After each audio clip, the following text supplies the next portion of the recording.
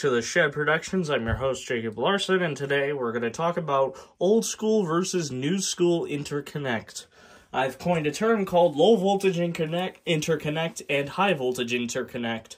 And today we are going to learn what the difference is and why you cannot intermix old and new smoke alarms to an extent. All right.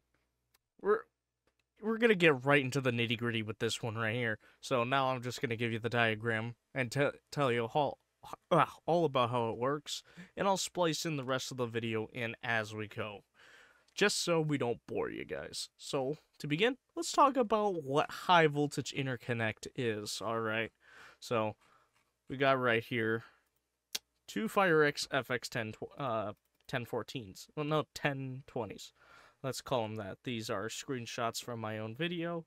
So let's assume that they are both powered. So they have a source. So obviously black going for whoops black going to one and then the other and then to a power source. Then you got a red going from one to another whoops, there's only one red wire going to another. And then let's have a gray wire since we have a ba uh, gray background. Go to another one, and that will be going to our power source. So this red wire interconnect, right? So let's mark that with an I. Right. So this is I as an interconnect.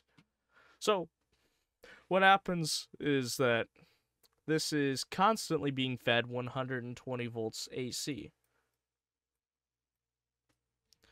So this line, the red wire, is constantly live with AC power. And so is the black wire. But this red wire serves a very different purpose, as it's designed to be shorted. Yes, that's right, shorted to the interconnect line. Well, I guess shorted is a relative term, but you do uh, make contact with neutral and you do try to power neutral with the interconnect line when the alarm is in action. So if um, you power this one, say by pressing the test button right there, it will jump these two right here so that this is powered. This will go all the way up here and it will also make the horn in that one sound. So, and it'll do it vice versa. And, however, voltage drop and uh, resistance would not allow this to work on more than uh, six or seven alarms. So that's why manuals do state that you can only have a maximum of six alarms. This is not exclusive to all FireX's as in the early 90s, the FX 1218 came out, which had a 9 volt battery backup, and you could indeed switch out that with the modern interconnect standard. But BRK was already on top of that and made the first battery backup alarm a very long time ago. So, let's look at something else. Let's look at something a little more interesting, shall we? Here we may have an alarm that you may notice. It's called a BRK double system three uh BRK 3000 uh, smoke alarm. It is both ionization and photoelectric, which is amazing technology for the 1970s. And this is released very close to the same time as the SA67 SA76 RS and of course the 77R. Oh, well, there goes my webcam.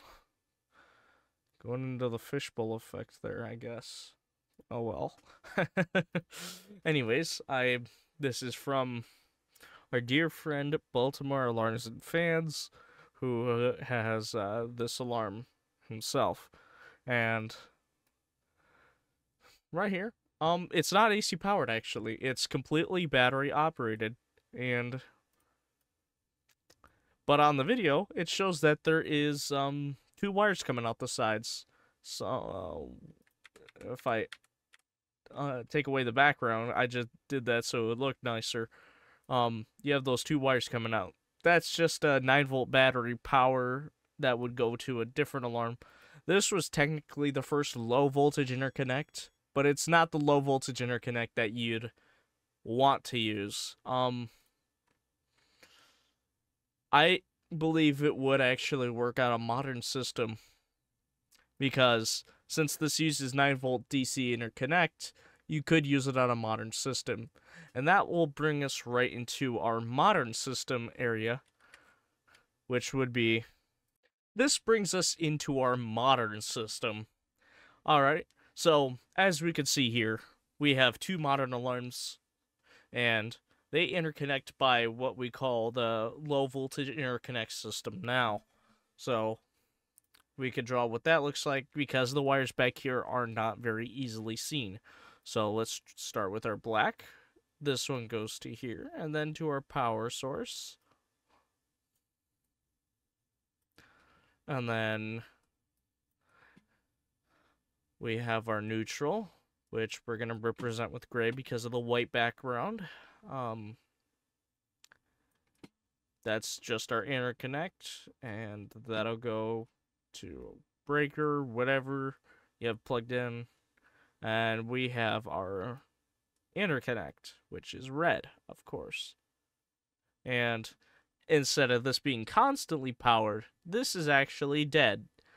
Same for the neutral. But when this alarm sounds, there's a relay inside of it that will um click if uh that will make contact with uh, the red and since the gray is our neutral that is our negative so it is used. So if you press the test button, it's like it's going to send power down this red line here, which will activate the other alarm.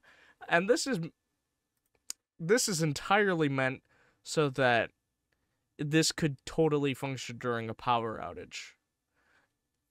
Because you can't have 120 volts AC in a power outage from a 9 volt battery, could you?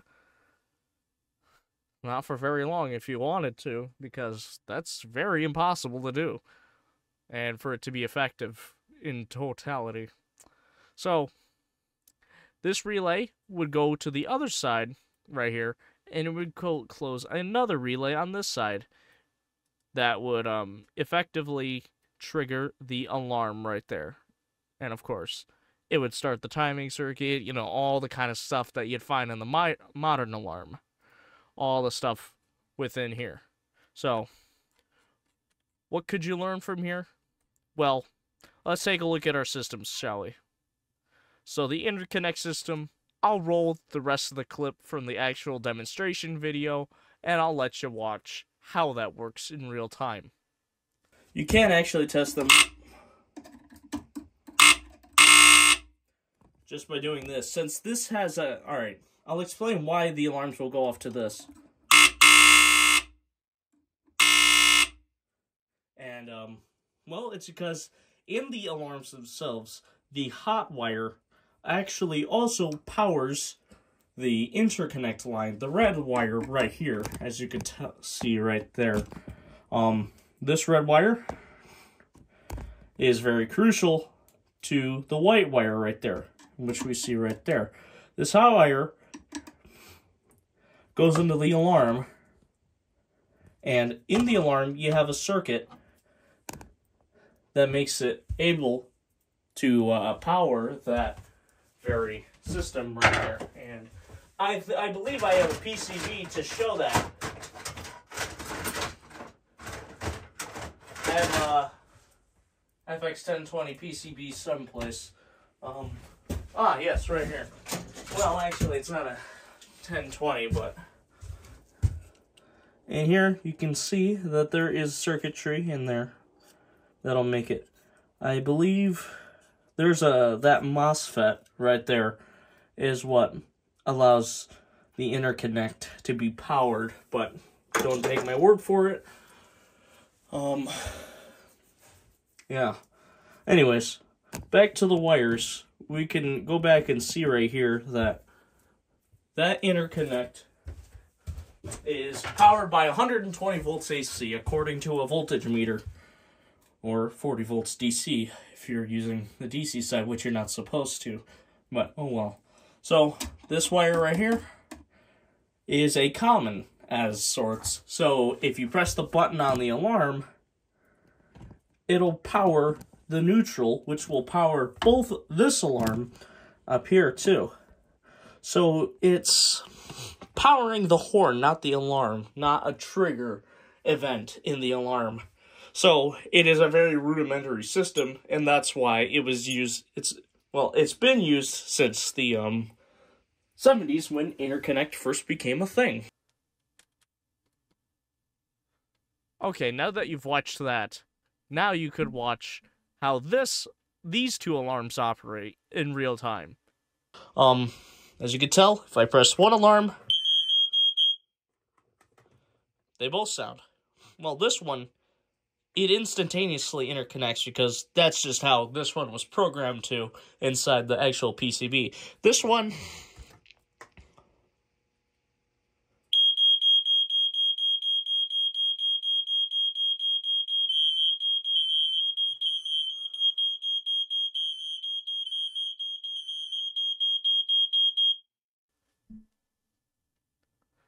Okay, now that you've watched both of videos, now that you can see just how both alarms interconnect and why you cannot, because we kind of have a little special thing that'll happen if you do something like that. And there's one video on YouTube that demonstrates this perfectly. It is not me. I'll give you proper credits for this video, but let me pull it up. This exact video is exactly what I'm talking about, as you'll hear as you'll see here. Um, so, let's take a look at this video.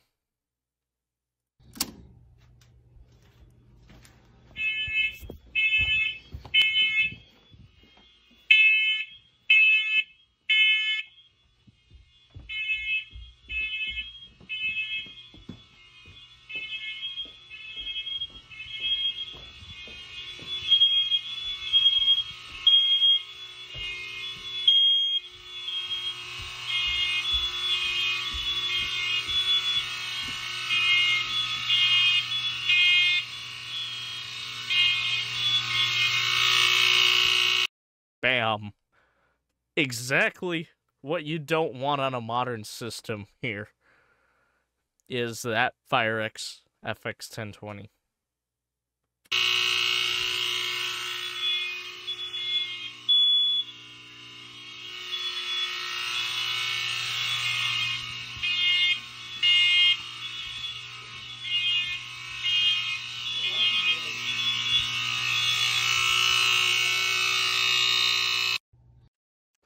So, let's break down what happened in that video.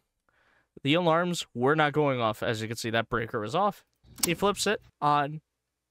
And that was his first mistake right there. Um, we can go into Photoshop and we can illustrate what happened there. So let's make a whole new photo document here. And let's copy over one of our dearest uh, FireX's FX1020s and one of our pictures of our modern alarms here. So, what exactly did he do wrong here? Do you remember how he's talking about how the FX1020 has a constant voltage on the interconnect line? But modern alarms don't? That's exactly what I mean.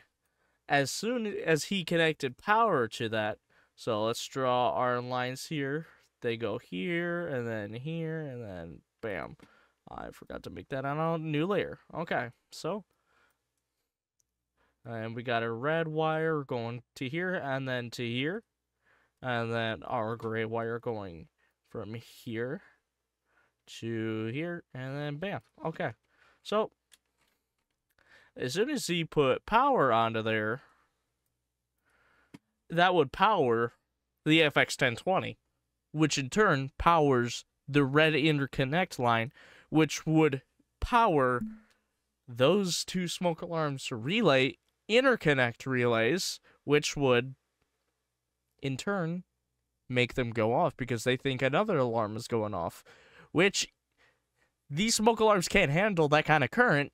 So it kind of leaks itself back in there to power the smoke the FX1020 itself again. So or because actually these are grounded to neutral, so go figure the the so yeah.